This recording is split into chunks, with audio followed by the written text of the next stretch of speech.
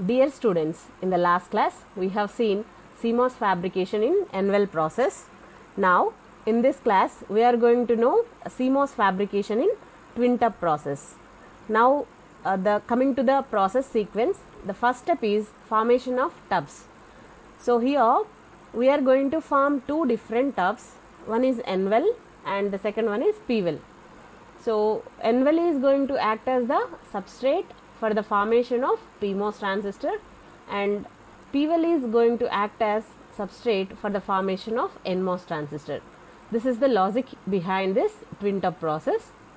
Now uh, coming to the next step thin oxide layer construction. So actually this thin oxide layer provides the insulation between polysilicon gate and uh, substrate. So in order to have uh, this thin oxide layer uh, means construction of thin oxide layer means it is nothing but construction of gate okay? Now uh, the next step is formation of source and drain implants. And the next step contact cut definition. And the last one is metallization. So these are the process steps we have to go through. These are the important steps okay? Now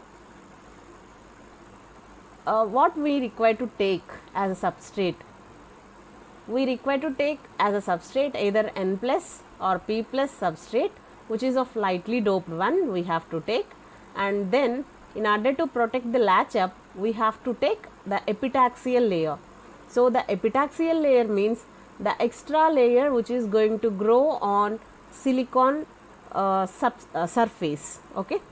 Now we have to take a lightly doped n or p type substrate and then we have to grow some extra layer right? And here the dopant concentration we have to take uh, correctly. Why? Because uh, exactly we have to take. Why? Because this dopant concentration it determines the electrical properties right? Now uh, let us go through the steps now. Coming to this first step we here we are going to take n substrate so you know how to get this n substrate? Uh, from silicon wafer manufacturing process we will be getting a pure silicon. If we dope with n type impurities or 5a group elements or dopants we will be getting this n type substrate. So after getting this n type substrate we have to grow this uh, n type substrate or whatever the substrate we have we have to grow it. So after growing this uh, this grown layer we can call it as epitaxial layer right? So in this epitaxial layer only we will be going to form this n well or p well now in order to form n well and p well we have to define the areas where we require to form n well and p well so for that process we have to go through oxidation photolithography and etching. So uh, by means of oxidation means we are going to form silicon dioxide layer upon which uh, by means of photolithography process we will be having photoresist layer. After that we will be going to expose that photoresist layer to uv light through the mask. And this mask is used to define the area where you require this substrate to be exposed and where you don't require uh, or uh, where this silicon dioxide layer has to cover right? So depending on the mask we we can able to expose certain areas of uh, silicon substrate to the external things and we can able to cover uh, that part of uh, substrate with a silicon dioxide layer right so the same process will be going to uh, continue and we will be going to uh, select the area where you require to form n well and p well by means of uh, these three process oxidation photolithography and etching. After selecting a certain area here we are going to select the area for either n well or here this area is for p well so you can take any side. Suppose if you are taking p well this side you can take n well this side. So there is no such condition.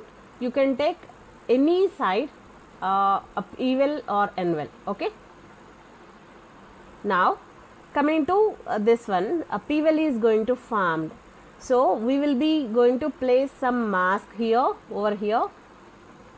And then we will diffuse or we will dope with p impurities so that you will be getting well here. Here the uh, doping method we will be going to use is a diffusion in most of the cases because we require a deep well. So we will be going through a diffusion process not uh, not by the uh, ion implantation method.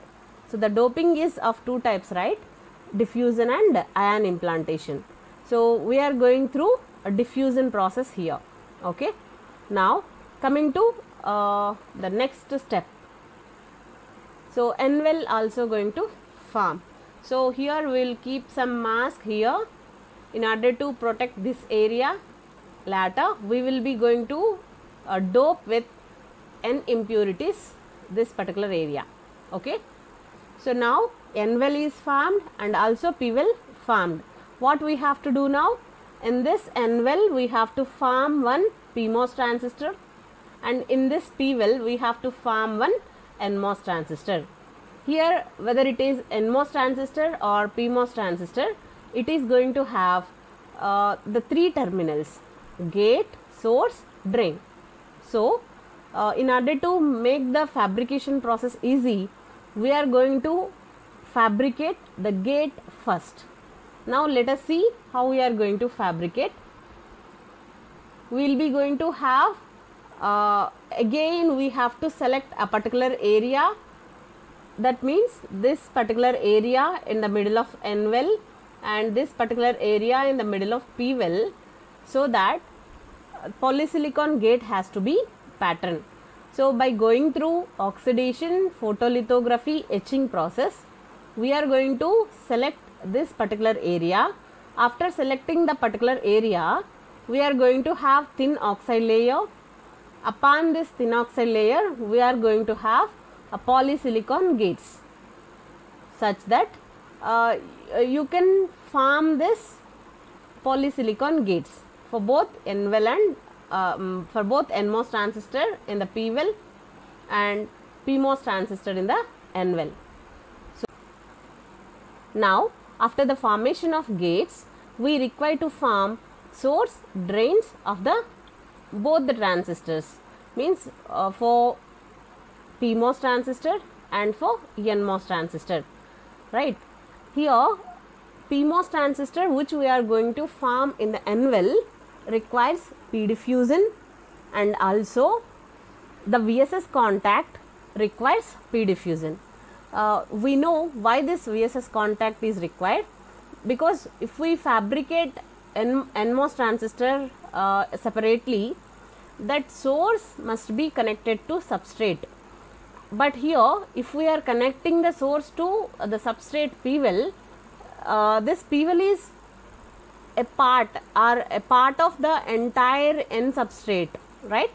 So entire parent N substrate.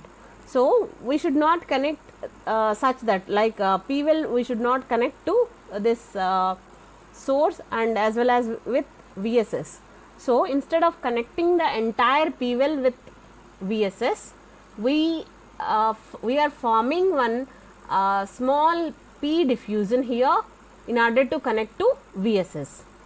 So this is this is why that's why we require this VSS contact and uh, after the formation of P diffusions we will go for N diffusions. So here comes the N diffusions. N diffusions are required for the formation of source and drain in NMOS transistor and also uh, for the VDD contact right. So, as as how we require VSS contact in the same manner we require VDD contact instead of connecting the entire N well to drain we are going to uh, form one small N diffusion here in order to connect to VDD and that is what we are calling it as VDD contact. Okay. So, now after uh, source drain everything is completed now what we have to do now? We have to form metal contacts. So for that we require contact cuts. That means we are going to cut the silicon dioxide layer where we require this where we require uh, contacts for each and every uh, particular layer right? So we require contact for this VDD contact as shown here and we require contact for this source or drain and we require the contact for this gate we require the contact for this source or drain and we require the contact for the source or drain here in the NMOS transistor and for this gate also we require contact cut and for this drain also we require a contact cut here and we, for VSS contact also we require a contact cut. So, for each and every layer we require uh, metal contacts in order to connect to external devices. So, in order to do that we have a contact cuts and after contact cuts we will be having metallization. So, after metallization is done the uh, CMOS transistor in twin tub process will be like this.